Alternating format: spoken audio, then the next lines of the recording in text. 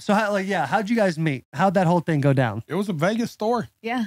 Did you tell it? Oh, I, I I've feel been like on I'm the bus always many times. Yeah, yeah, yeah. this is where Jelly sits back, and we, we had him for I feel like 23. I'm the best telling the part, and it's funny too, kind of is seeing that exchange. Like they're kind of like, you tell it, no, you tell Yeah, it. yeah, yeah. Yeah. Because they both, when you get them individually, whether they're writing up uh, nice post on Instagram that you wrote about Jelly when he got his awards and everything else. My But anytime you guys are on and talking about each other, now I'm excited because we get to have you guys here and talk about it in front of each other, like on the yeah, mic. yeah, for sure. So tell a lie. No, Okay, well, so we met at um church. No, I'm just kidding. that was a good one. um, so he was performing with the Moonshine Bandits. He was opening up for the Moonshine Bandits at, at Las Vegas Country Club, and I It's went. like a Fremont joint. Just to paint the picture, this isn't like it's old Vegas. Yeah, like it's a old downtown Vegas, and um, I went with a friend, uh, this guy I was dating, and he was there, and there was like 30 people in the crowd, maybe like 40. I don't Maybe know. Twenty. Packed Yeah, house. it was like Might be nobody. fluffing me up here. Yeah, was no, like there was nobody there. It was there was so many not people in the crowd that he was at the bar drinking with us. You know, like it was like one of those Yeah. things.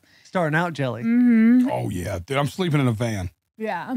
And when I met him, it was just like I tell everybody it's the most fucking cliche shit, but it, literally it was like my soul was like, there you are. And like he's not my type. I'm not his type. He loves Taylor Swift. Like that's Yeah. his type. Taylor Swift, yeah. All the boys are like Hard "Mhm, not yep, to love Taylor. You know, Yeah. it's just very He's the lovable. First people that are ever like, yeah, Taylor. Everybody else Well, is like, Taylor's, what? you know, no cheeks on Taylor. No cheeks on Taylor. Yeah. I think I think I think she's she's I think she's a think she's- billionaire with a She's very, she's very cute. Yeah. She's a Yeah. beast for sure. She is our, our Michael Jackson. Yeah. Our generation's Michael Jackson. She's just Well- murdering music. Yeah, for sure. Um, so you know, when I met him, I was just like, I, I was like instantly just like, who the fuck are you? Like, I have to get to know you. And then he was, you know, doing his own thing. He was, you know, had bitches in different area codes, and I was in a relationship. And What year was this? 2015. Okay. Yeah, and then I saw him again in October. So that was like August, September, Yep. July. I don't know. Yep. August, it was August the first time, and then we came back in October. Yeah. And then he came back in October and I was just smitten with him. And then my ex ended up going to prison because I love to date felons. So, Wait. yeah. Hey, Exactly. Yeah. so I kind of am her type. Yeah. What did what did he go to jail for? uh, drugs. Okay. Yeah. Moving weight. That's it. um, so fucking, um, Jay and I had like a mutual friend, and I was like, "Hey, give Jay my number." And so, dude gave Jay my number, and he like started texting me and like calling me and like asking for advice for Bailey and stuff like that because I think he had already planned on getting custody of Bailey at that time. Yep. And he was just like, "Hey, I need to buy a little girl's bed." So I would like be in bed with like my Cabana boys, and I would like get out of bed to just Facetime him and stuff like that. She's laid up with some dude and is walking away like, hold on, let me go outside and talk to you. No way. yeah. That's Yeah. awesome. Yeah. So we just started a friendship like that. And then he just hit me up one day and was like, Hey, I'm going to come to um, Vegas to shoot some videos. And I was like, All right, this was like July of 2016. So he pulled up and I, I molested him. Am I allowed to say that word? Is that politically Yeah, you can say whatever you want here. Um, and I pretty much, I literally had to rape him though, because fucking, he was not trying to give I me need any this dick. clip in case I ever There you foul go. this. Oh yeah. Just keep talking. We've got you, Yeah, Jelly. We've got What- you. what wasn't consensual. I'm telling you, he, he too. He too. You know what I'm saying?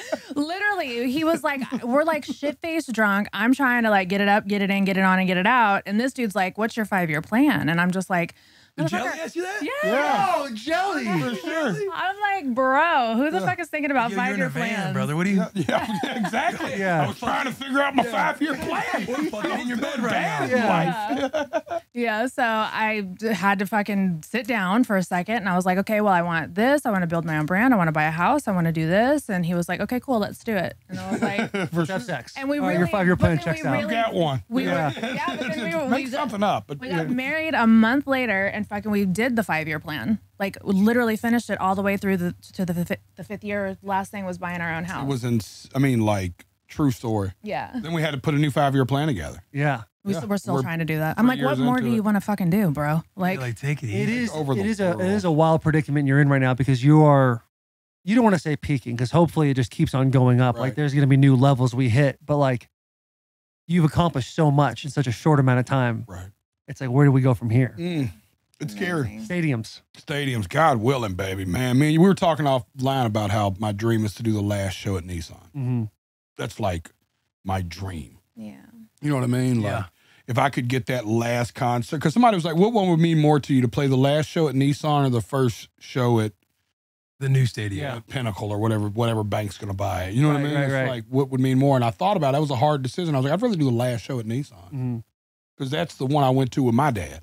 And that's the one I took my daughter to. You know what I'm saying? So it's like there's that history. They're like new memories at the new stadium, but all my all my core memories are here at, at Adelphia Coliseum. Yeah. You know what I mean? So it's Mm-hmm. like to me, it mean more to play the last show of the old stadium than the first show of the new stadium.